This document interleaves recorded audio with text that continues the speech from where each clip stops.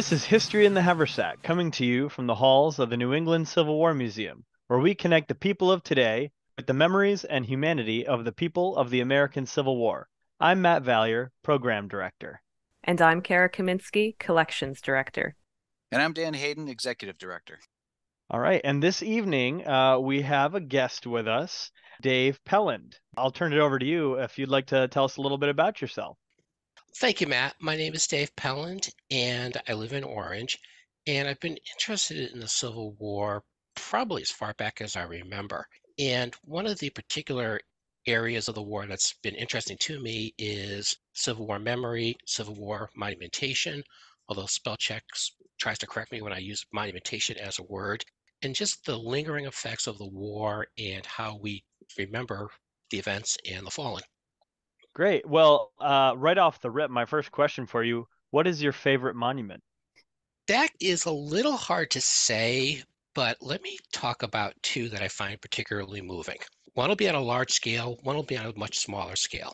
Starting with the larger one, I'll point to the Soldiers and Sailors Memorial Arch in Bushnell Park. I'm a volunteer with the Bushnell Park Conservancy, and I help lead tours of the arch and of the park as a whole.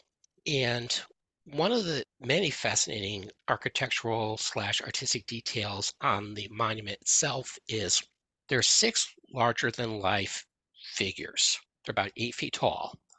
Four of the six show Civil War soldiers, but they're depicted with a blend of their Civil War uniform, but also tools from their civilian profession. So there's a carpenter who's holding a saw. There's a gentleman putting away a cavalry sword and picking up a sledgehammer, and you can see an anvil behind him. There's also a scholar, and there's a mason holding a trowel. And what the artists were trying to show then was these were volunteers. The war is over, and these gentlemen are returning to their civilian profession. And there's also a lot of other details. There's a frieze showing the soldiers and sailors returning to Hartford. The other side has frieze depicting battle scenes. So that's the large scale monument. On a smaller scale, I would point to the monument on the green in Colchester. That pose has a slightly different pose than the typical parade rest soldier that we think of as a Civil War monument. And it shows that figure is slightly older and it shows him with his head down in contemplation. So you get a sense of reflectiveness, you get a sense of loss, and it just is a much more somber feeling that reflects the seriousness of the war and the fallen. So, Dave, we've been uh, looking forward to having you here, I, and me in particular, because I've uh, I've had your book on my shelf for years now, and I, I used to use it as a reference point for when um, we first started to try to collect information on all the monuments here in in Connecticut for Sons of Union veterans of the Civil War our camp here. One of the things that the camp is supposed to do is to collect information and the condition on all of the the monuments here in Connecticut. And, and your book here, I got it in my hand, Civil War Monuments of Connecticut, and I've got your second edition uh, with all the updates in there. Provides a, a great overview by county, which is great because you can skip right to not that Connecticut's a big state and anything, but it, you can skip right to the section where you're really looking one of the things that's really interesting in doing it that way is to sort of look at the the patterns between the, the monuments and uh, where there might be similarities. There's there's a lot of different kinds that we have here in in Connecticut and really in New England in general. But can you give us just a brief overview of what do we see here in in Connecticut? Like what what is, what's the range of monumentation from the Civil War era that somebody driving by would be able to to see and recognize? Like, oh, that's that's a Civil War monument. If we think about the period where the majority of Connecticut's monuments were built, we're talking about 1863 through World War One, and so you think about that as a period of 60 years, and you think about the art world the art world itself went through trends in some designs were more popular, some designs were less popular. So if we look at the beginning of the monuments, 1863 through about 1869 or so, if you wanted to buy a Civil War monument, where would you go? To a cemetery monument dealer. And what did they have? They had headstones and they had obelisks. So if we look at the early monuments, like the Kensington section of Berlin, or the green in Plymouth, the green in Cheshire, what you see are very simple obelisks. We don't see a figure on a Civil War monument till about 1868, and that's in Granby. And then we see the design of what was later used at the Antietam Cemetery, the private soldier or Old Simon. That figure was first displayed at the U.S. Exposition in Philadelphia in 1876. And that figure, the parade rest soldier with his hands at his waist holding the rifle, that became sort of the standard monument from the early 1870s throughout most of the 1880s. And it was because of the the trends set by Antietam National Cemetery with Old Simon, with the, the soldier that we all recognize, right? Just the dude on the pedestal standing there with uh, have, having the look off into the distance. That figure, usually at parade rest, there are variations where you'll see him holding a flag, a standard bearer. But those two are probably the most common design. Through the 1880s, the figures start to get a little bit more elaborate. So you'll still see that figure, but he'll be atop a pedestal or a base that has more ornamentation on it. You'll see United States shields, you'll see the Connecticut shield, you'll see flags, you'll see ivy scrolling. And when we get to the 1890s, they start to get more abstract. So you'll see, like Salisbury, there's an allegorical figure representing the United States holding a shield. She's standing on a pillar. At the base, there's cannons coming out. Litchfield, there's a monument in a cemetery that has a large Civil War drum. And that inscription says, muster it out. And there's Civil War graves surrounding that section. Winsted, you have a castle. There's a turret, there's a standard bearer on one of the turrets holding his flag with a sort of jaunty pose. So as time went on and cities wanted to distinguish their monument from another town's monument, as design trends changed in the art world, as artists became more comfortable with their tools, steam power came out, you started to see more elaborate monuments. Then we start to see a sort of a return to the more traditional private soldier monument. Because by about 1900, 1905, a lot of the following monuments were privately funded.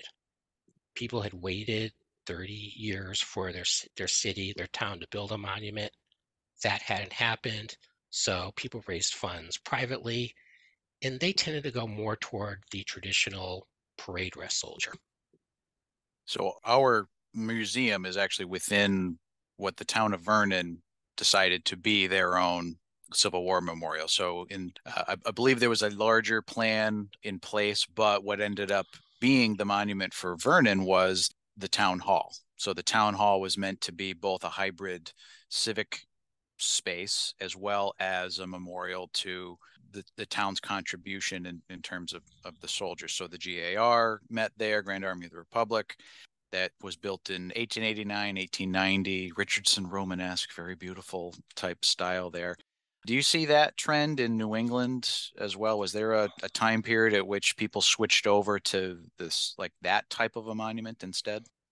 Vernon was one of four towns in Connecticut that chose to honor their veterans with with a memorial hall. In addition to Vernon, there are halls in North Haven that still serves as town hall. Windsor Locks built a hall that now I believe the VFW VFW uses. And Madison built a town hall. But in Madison's case, the veterans kept agitating for a monument after the town hall opened.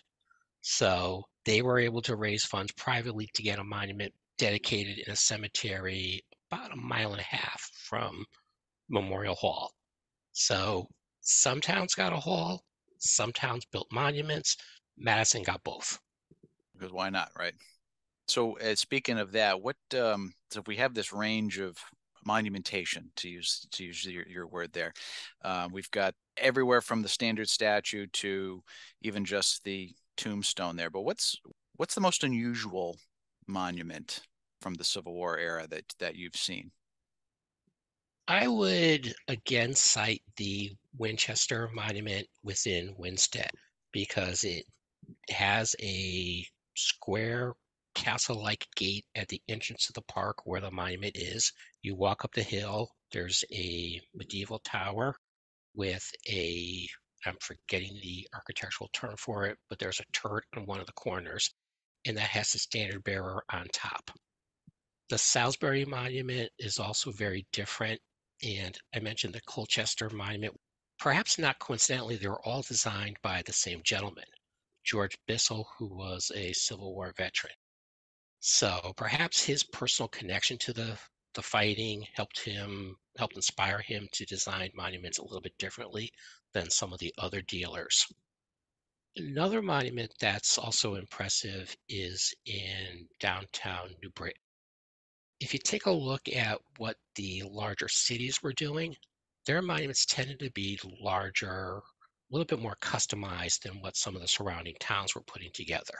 And over the years, the monuments tended to get a little bit larger and a little bit more elaborate, almost as if they looked at one town's monument and decided that theirs was going to be larger.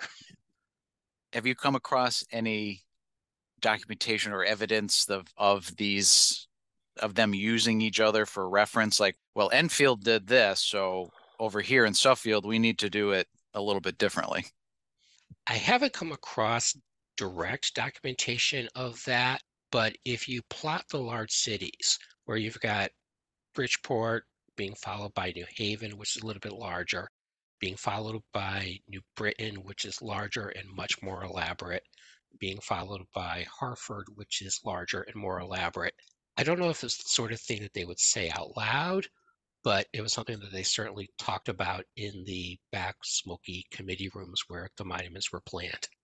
Always be fun to see if you could find the meeting minutes from those and see the professional. No they can't they can't we can can't let them one up us on that.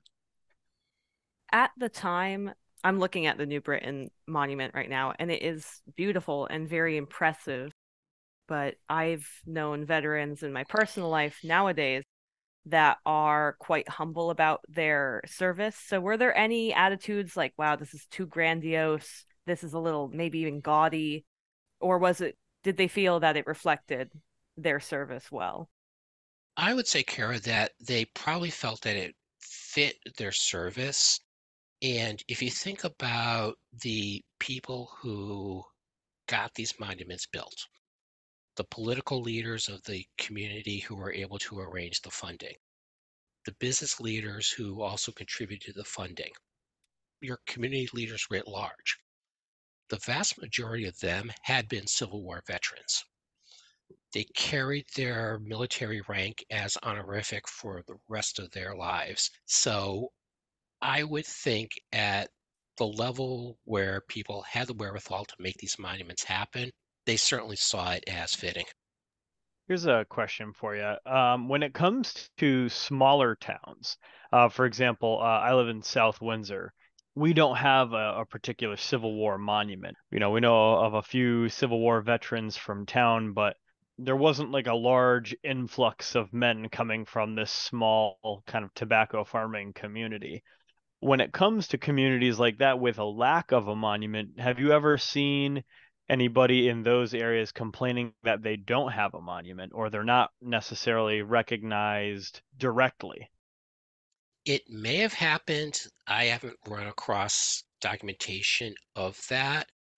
I think one of the things that you'll see that's related to that is you see monuments being dedicated well after the war to correct some of those perceived injustices. And one example I can point to is if you look at Shelton, which wasn't an independent city during the Civil War. So the Civil War monument in Derby also reflected the service of the soldiers from Shelton. Well, Shelton in 1920, give or take, I'm forgetting the exact year, but when Shelton became independent, it didn't have a individual Civil War monument for its town until there was a private effort to have one installed within the past eight to 10 years or so. Now, shifting towards the the battlefield when did Connecticut really start getting involved in uh, battlefield monumentation instead of, you know, monuments within their towns? That tended to happen toward the 1880s. If you look at the major battlefields, such as Antietam, such as Gettysburg, you tended to see a period where first the various associations at those battlefields had to obtain the land. So really the monumentation in those battlefields didn't start until the 1870s and it picked up momentum in the 1880s. And that's when a lot of the Connecticut monuments were placed. And it was fairly common there'd be two or three monuments dedicated on the same day. So you'd get as many veterans as you could. They'd pile on a train, they'd go down to Gettysburg, spend a couple of days in town, tour parts of the battlefield that they didn't get a chance to see when they were serving during the battle and dedicate their monuments. Yeah, it almost seems like there was a uh, there was money appropriated during that time frame because all of a sudden you start to see this uh, the, a very similar form of those Connecticut monuments showing up at Gettysburg in the mid 1880s, right? Because so the 17th Connecticut had their obelisk over on East Cemetery Hill, which predated that. You had the 14th Connecticut which is a little bit different. It's on a it's got the dado on the pedestal and the the second corps monument or the second corps symbol on the top. But then the fifth Connecticut, the 20th Connecticut, the 27th Connecticut, they 17th got another one. So they all got these very blocky, uh, almost like little houses, all dedicated around the same time. So there must have been some appropriations through the the state legislature for hey, you know what? Every, we got to get our monuments on the field too to get representation because everybody else in the North is doing it at the same time. And also, just as a side note, at that period in the 1880s, you start to see American Revolutionary War monuments being built that hadn't been dedicated in the latter part of the 1700s, early part of the 1800s. Now, that's a great point. So why why do we not see a lot of monumentation from the Revolution, 1812, anything that really that predated the Civil War. There's not a ton of those, uh, and the ones that you mentioned seem to come after the Civil War as well. What happened there? What happened there was the sheer scope of the Civil War prompted a need for that monumentation. You know, if you think about a city like Hartford, where 4,000 people served and 400 people died. Hartford's population in 1860 was 29,000. So if you figure roughly half of that is that population is going to be women, you've got your people who are too old to fight, too young to fight. Whatever group of military age men you have, that 4,000 is a significant chunk. All of which is a long-winded way of saying everybody knew somebody who fought in the Civil War most people knew somebody who died or knew somebody who knew somebody who had died.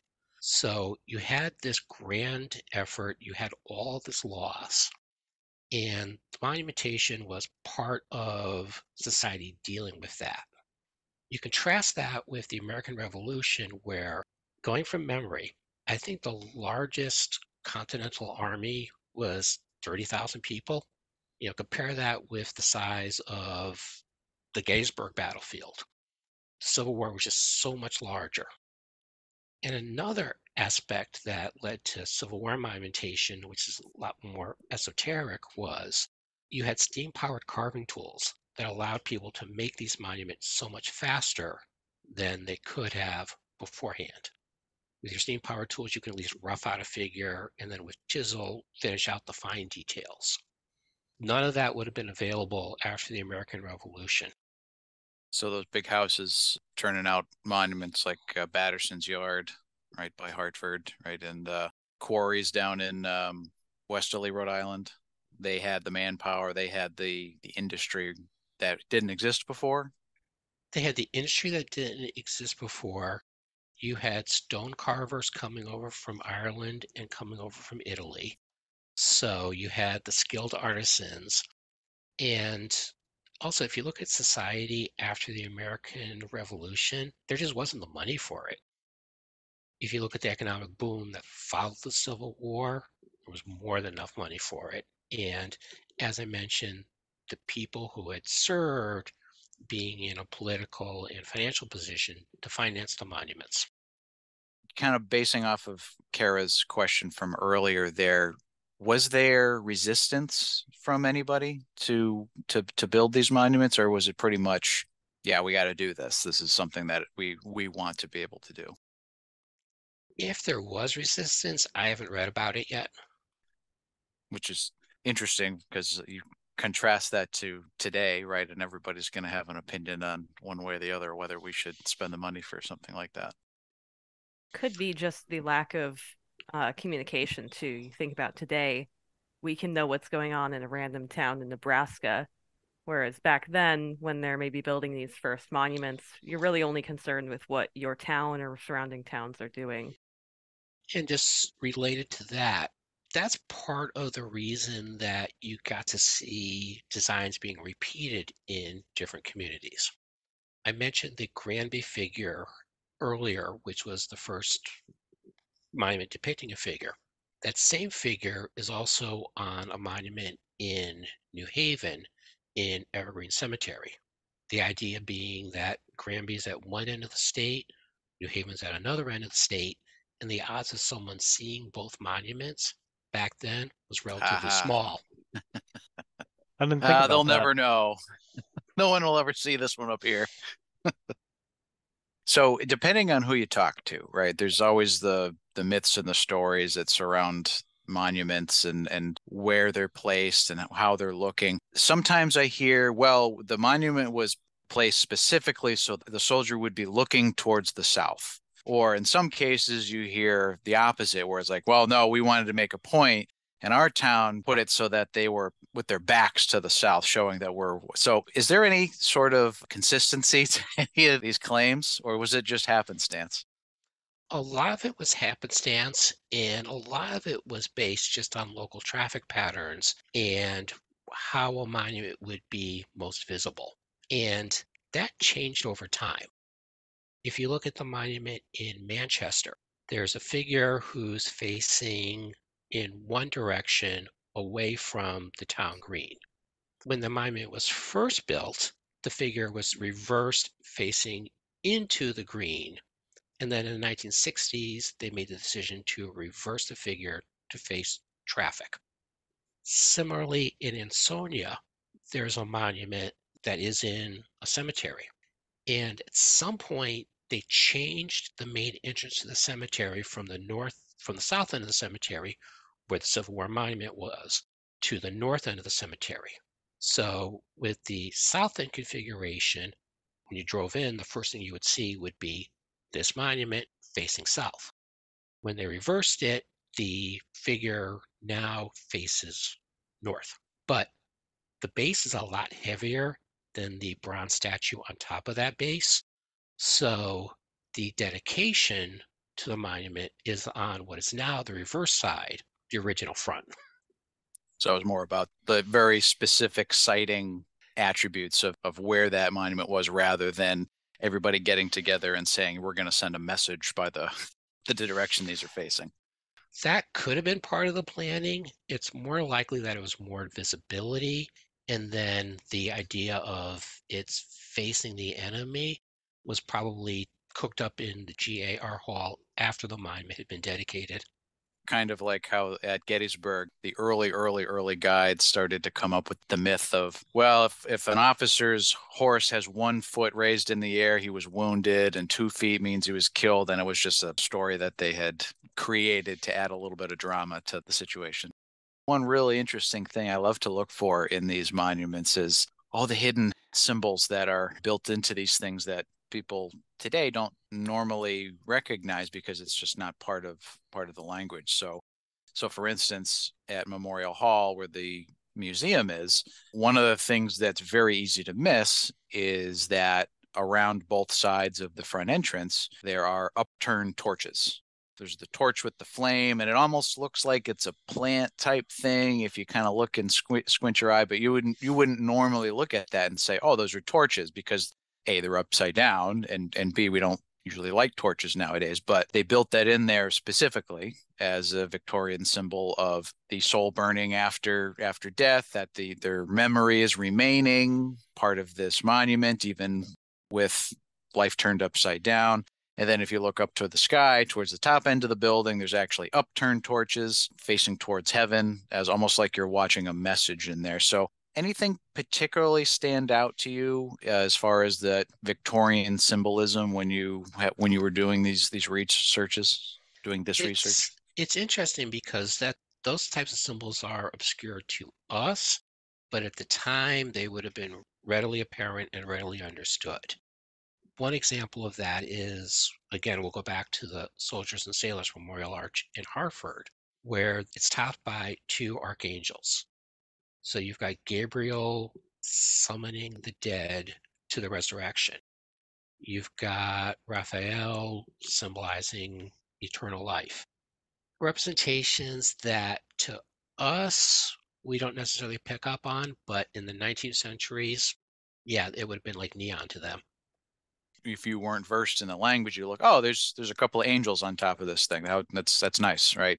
Or if you're somewhat familiar, it's well, I've heard that you know they have that Greek goddess that represents victory or something like that. You know that symbolizes a, a major theme, but they got pretty nuanced. They got pretty detailed, even down to the kinds of flowers or plants that they carved into into their designs again with the Soldiers and Sailors Memorial Arch, there are two terracotta dedication plaques that are ringed with flowers. We think they're flowers. They look like sleigh bells. They look like flowers. We're not sure exactly what they are. And when guests ask, we say we're not positive, but back then you would have recognized them. now, is it true that the designer is buried in the monument? He is. The arch was designed by George Keller, who at the time was Hartford's leading architect. He had started his career working with James Batterson. Keller helped design the monument in the Soldier Cemetery in Gettysburg. At some point, he left Batterson and was working on his own as an architect. When Hartford decided to build its monument, they knew they wanted an arch. And George Keller was like positive that they would ask him to design the monument. Instead, they had a design competition. And Keller was so offended and miffed about the design competition taking place that he decided not to enter it. The designs that came in all exceeded Hartford's budget for the monument. So the committee went back to George Keller, apologized, and asked him if he would consider entering their design competition and mentioning that if he could design a more affordable monument, his chances would be pretty good. So Keller substituted marble or granite with brownstone, which was available down in Portland. And instead of the arch going over the river, Keller placed it on a river bank and added a bridge across the river. So between those design considerations, he was able to bring the cost within budget. But cycling back to your question from a couple minutes ago, yes, George Keller, upon his death, and then later upon his wife's death, they're both cremated and their remains are entombed within the east tower of the arch, which is kind of an ironic twist because Keller designed a lot of the large, elaborate monuments at Cedar Hill Cemetery. He designed the chapel at Cedar Hill and the front gate, but he himself didn't care for cemeteries and didn't want to be buried in one. So was it by by his request that he was interred there? It was. He wanted to be interred in one of his major works. And there was consideration. He also designed the James Garfield Monument in Ohio. And there's consideration of placing him in that monument. But because he had lived and worked in Hartford, this was considered closer to home for him. So you mentioned Cedar Hill. There's some Civil War notables uh, buried in that cemetery, right in uh, Wethersfield, West Hartford, right in in that area there. In Hartford, in Hartford Cedar, itself. Cedar Hill, James Batterson, who we've mentioned, probably Connecticut's leading monument dealer, and then as side business started the Travelers Insurance Company. Sam Colt is there. Griffin Stedman, the Civil War general, is there. I think yeah, Gideon Welles is there. Horace Wells. So it's a fascinating cemetery, and if you go in early April when the trees are in flower, it's just stunningly beautiful grounds. I have to say, my favorite one in there is Griffin Stedman. Uh, aside from being an 11th Connecticut nerd, you know, he commanded that unit for a long time. His grave is so ornate. I mean, and the flag that's carved over the stone is pretty much an exact copy of the flag that the 11th Connecticut got later on after his death in February of 1865, which I thought was really interesting down to those fine details they got it right. And of course, you got to love the the the sword belt and the sword with the with the kepi on top.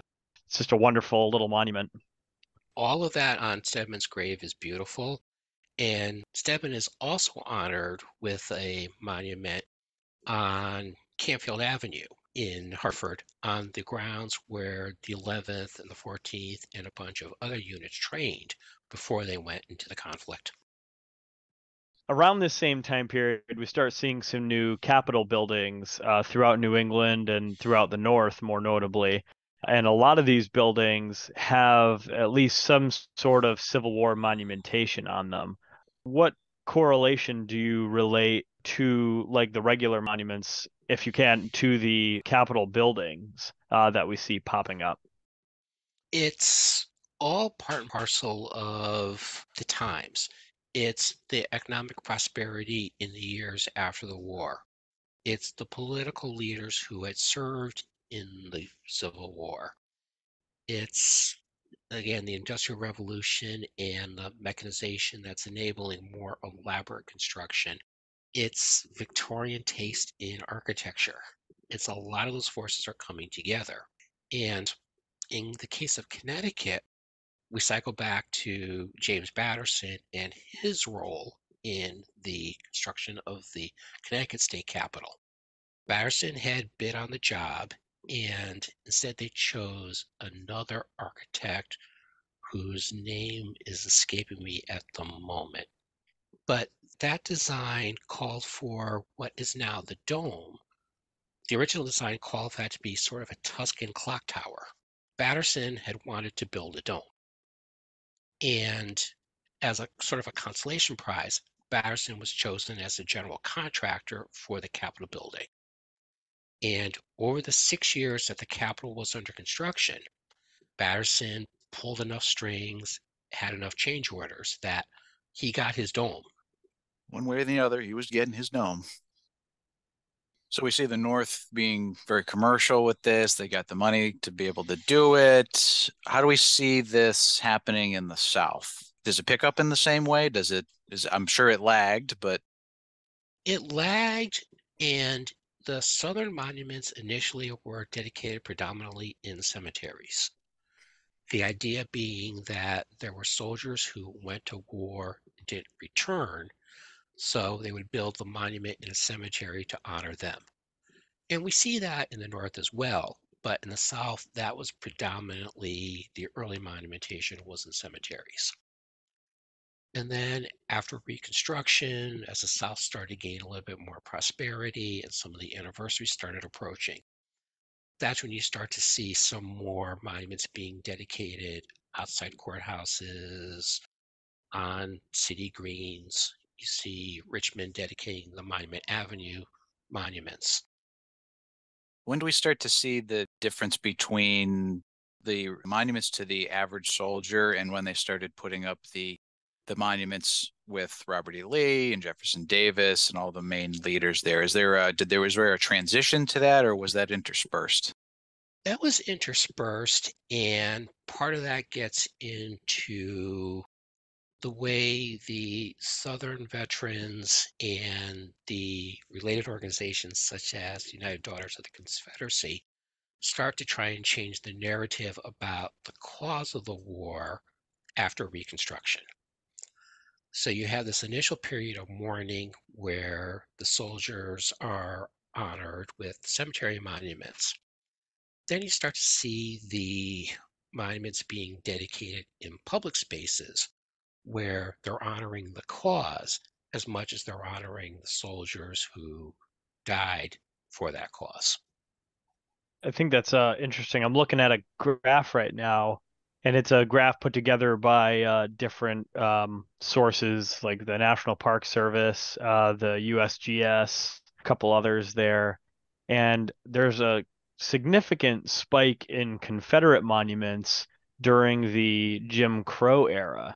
And I know that's a huge debate now with the placement of Confederate monuments, you know, and when those were dedicated and why those were dedicated. Is there any kind of direct evidence that you could call on that show that perhaps those monuments were put there to intimidate minorities or promote the the lost cause, if you will?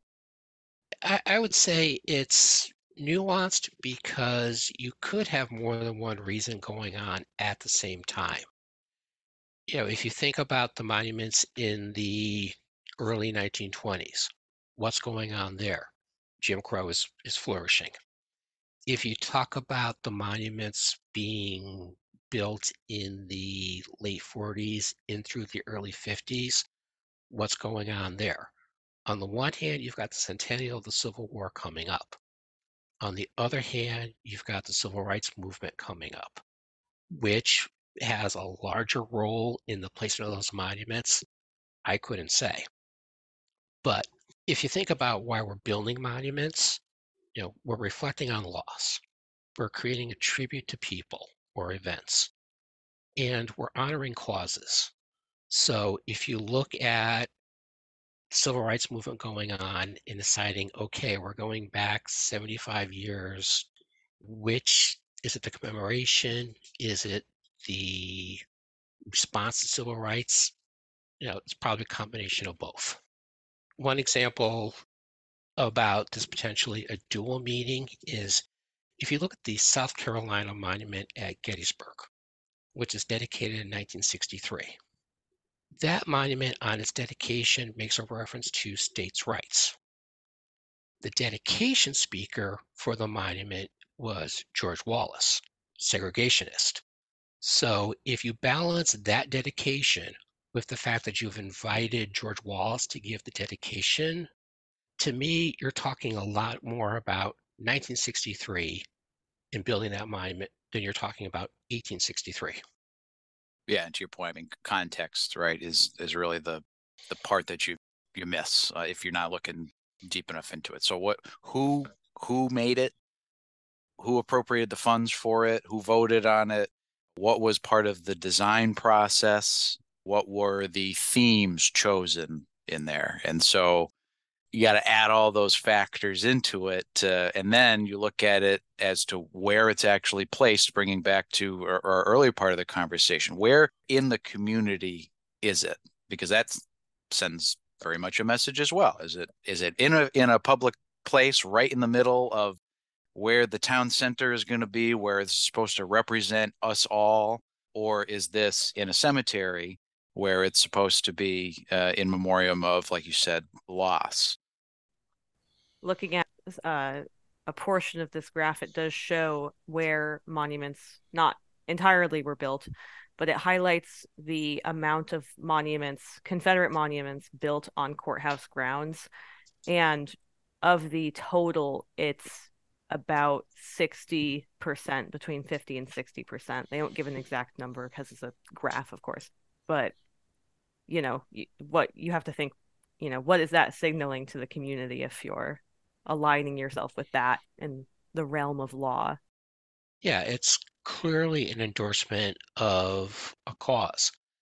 And as someone who enjoys monuments, appreciate monument, whatever term we want to use, you know, I'm not thrilled to see a monument taken down, but you can understand the context in which a community looks back at decisions that were made 100 years earlier and may feel differently about the endorsement of a cause than two previous generations may have felt. Right. And what why it was there to to begin with. So something like the Liberty Square Monument in uh, in New Orleans, where it was put there with very explicit writing on it that it was there to celebrate suppression of you know African Americans at the time. Maybe that doesn't belong anymore because we're that's not really what the community is about. Do you look at the other end of the spectrum and say, well, if if there is a monument to that simply just denotes loss and it's about an average person because like you said like huge huge percentages of communities especially in the south lost a lot of people and as part of the the healing process you, people are going to want to have some some memory to that. And as long as it wasn't overly seditious you know and things about you know that we still maintain that we're independent and all that stuff it's if it's more about the loss well maybe that's a different question. Like you're trying to remember people that you know were here that were important to you and to other people but now are not yeah, and that's the difference between a monument that's in a cemetery versus a monument that's outside a courthouse. What do you think about the the monument that was recently removed from Arlington National Cemetery? I believe it, was referred to as the Reconciliation Monument in the Confederate Deads section. The Reconciliation Monument is an interesting rebranding that only came about after the base renaming commission decided that monument had to go. If you look at the placement of the Confederate dead in that section, yes, that was a gesture toward reconciliation. The monument itself had a Latin inscription, and I'm forgetting the exact wording, but saying that the Southern cause was just. It also had a depiction of a mammy and another depiction of an enslaved worker that not something that would fit our sensibilities today. And so for that monument to sit 400 yards away from the tomb of the unknowns, there's a dissonance or a disconnect there that the Defense Department chose to address. Now, there's talk of that particular monument being moved to the New Market battlefield. That's probably a more appropriate location for it than Arlington Cemetery just for discussion purposes.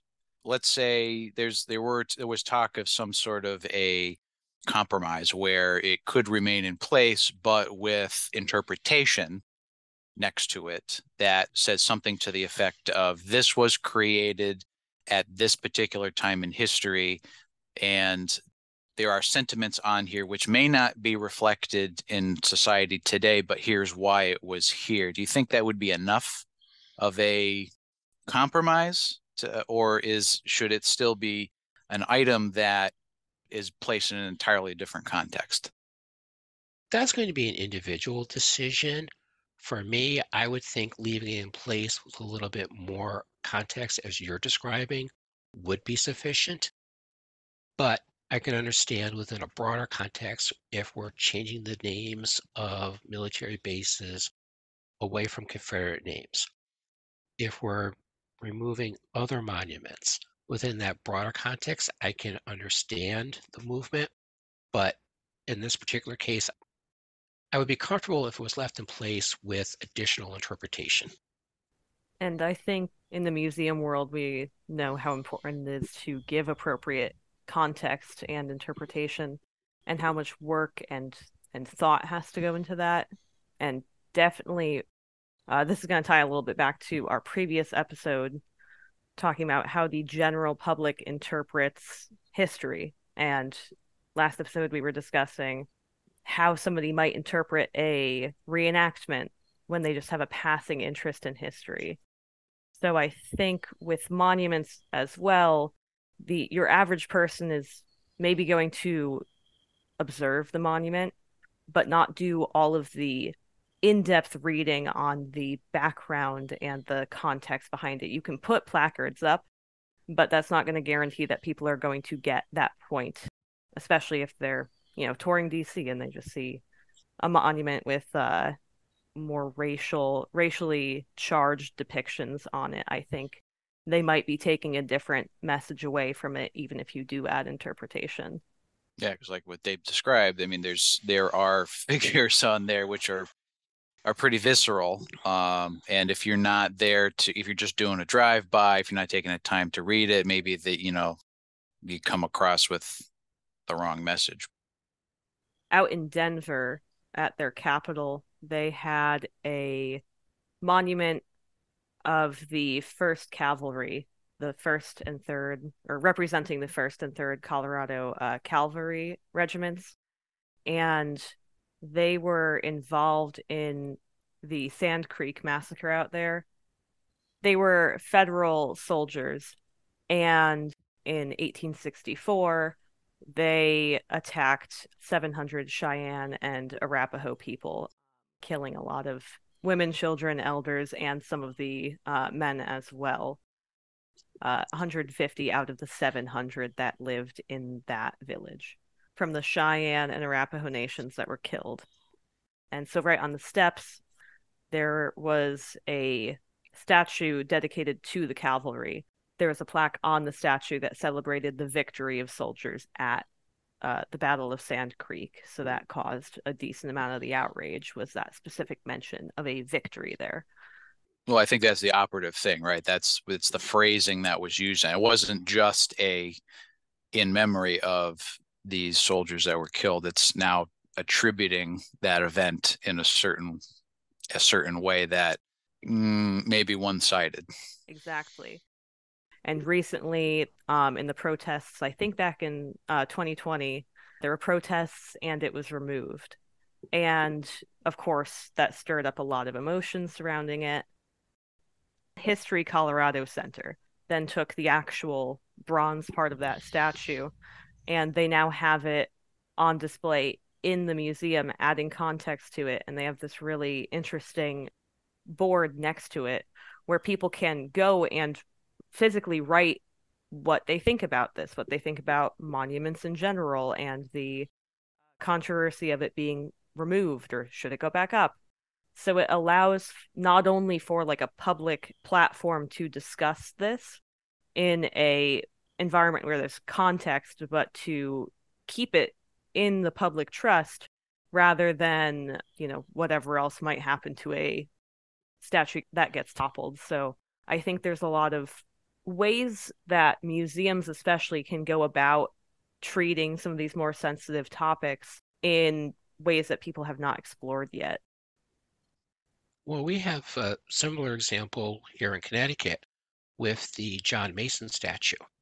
John Mason was one of the settlers of Windsor and one of the settlers of Norwich, and was also a participant in the Pequot War in the 1630s.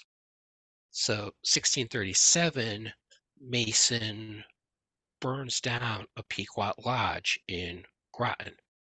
They attacked it at dawn, they set it on fire, and shot at the people trying to escape.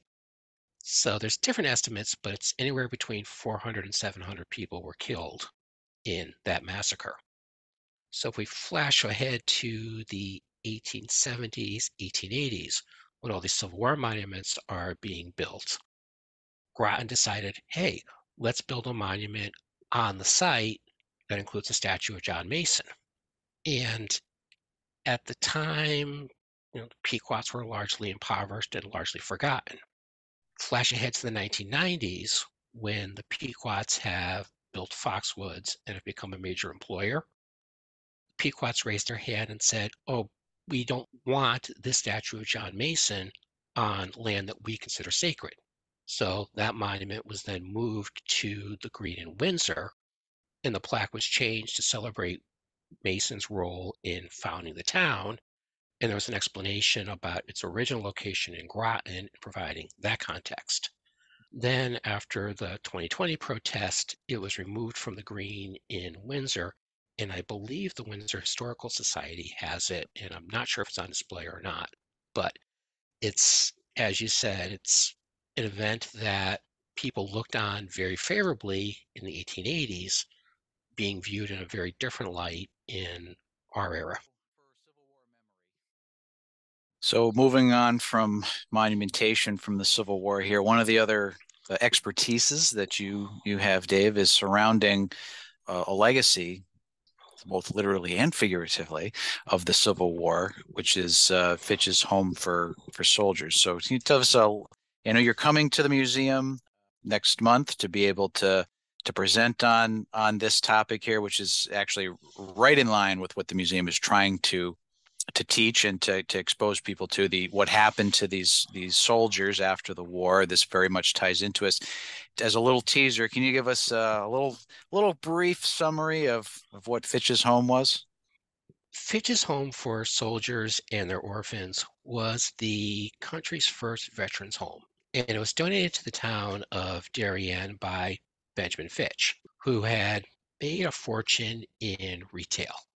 He had a store in Buffalo. He had several dry goods stores along the Erie Canal, and he built a department store in Chicago. And he also made a series of real estate investments in Chicago. So he's one of the country's first millionaires. And he retired in the 1850s and dedicated the rest of his life to philanthropy when the Civil War broke out and he started to see soldiers coming back with wounds, with disabilities, he decided he wanted to build a home for them to return to. Went to the White House, talked to President Lincoln. President Lincoln loved the idea. And so in 1864, he opened a home in Darien, donated $100,000 and five acres of land, and opened this home with about 80 veterans. A year later, they expanded the mission to become a home for orphan children as well. And that home served the state of Connecticut from Civil War veterans through the Spanish American War veterans up until 1940 when the state's home in Rocky Hill opened. So it was started as a five acre site and over the years expanded to a 12 acre site. At its peak population, it had about 500 soldiers. Most of the time, it would have, it would ebb and flow depending on the war, but most of the time, it would have between 100 and about 200, 250 soldiers living there. They had a chapel, they had a library, they had an art gallery, they had a barber, they had a tailor, they had a lot of amenities while they were there. But you also had interesting incidents like during Prohibition, veterans going to Stamford and buying liquor and smuggling it back into the soldiers' home. Today, the site has been redeveloped extensively, and today it's now public housing. You drive by, it looks like a condo complex. There's townhouses, there's a couple of apartment buildings. And at one edge of the property, there's about five homes that were built for officers of the home they're staying today. And the chapel was moved across the street in the 1950s and is now used by the Darien VFW post. So here's Benjamin Fitch donating land that 160 years after the Civil War is still providing a public benefit to the town of Darien. At the talk, we'll go into a lot more detail about the home and the veterans who live there. There was one Mexican war veteran who was there, and he's got an interesting story just unto himself. And we'll talk about the time that money was missing from the Fitch home and not coincidentally, the bookkeeper was also missing. So if you think about a six year lifespan of a small community, you're going to have a lot of different incidents. So we got we got missing money, we got uh, booze, we got uh, all sorts of controversy coming up here to to hear about. we have a veteran who made an unfortunate encounter with a trolley car and from the comical to the tragic all the, sorts of the, things here. Yeah. The, the, full spectrum of a community's life. Yes. So that's going to be uh, Saturday, March 9th at 1 p.m. at the New England Civil War Museum. You can sign up for that on the website through the events page. So to our listeners and our, our, our friends and, and our network here, we this is your last chance to, to be part of history here, to to be able to help us with the final payments, to be able to bring Seth Plumb's uniform home to Connecticut. We've been uh, working on this for a year now, and uh, we're planning on being able to bring the his uniform home in the near future. We just need a little bit more to to get us there. So whatever you can donate, well, we we do take donations directly at the museum. However, we have a GoFundMe page, which is very easily accessible. You can go right to New England Civil War Museum.com and uh, sign up there. Being a friend to the museum also really, really helps us out. Uh, our friend subscriptions, uh, there's a few different levels there. Aside from the monetary donation, the financial help that you're helping the museum, this is also the network that helps us grow and to get that message out as far as we can.